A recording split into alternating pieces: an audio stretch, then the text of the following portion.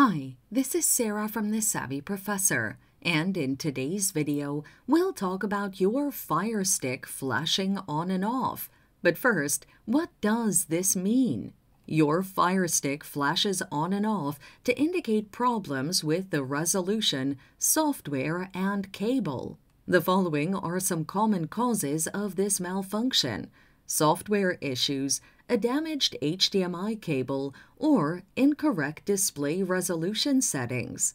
Now, let's look at the best solution you can apply to fix the malfunction.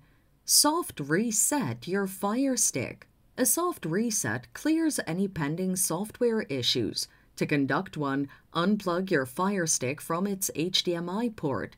Unplug your TV from the wall outlet and wait for 60 seconds. Plug in your TV and the Fire Stick. Check if the flashing continues. Inspect your HDMI cable and port. If the flashing continues, inspect your HDMI cable and port. First, disconnect your Fire Stick from the HDMI cable and ensure the cable is straight without bends or breaks. Next, check the port to ensure there's no debris. Additionally, check the HDMI plug to ensure the pins are intact. Replace the cable if it's damaged.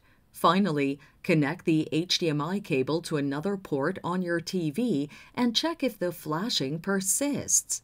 Adjust your display settings. If all else fails, adjust your display settings. Go to Settings on your TV and navigate to Display and Audio. Tap Display and set the video resolution to Automatic. Next, set Match Original Frame Rate to On. Check if the flashing continues.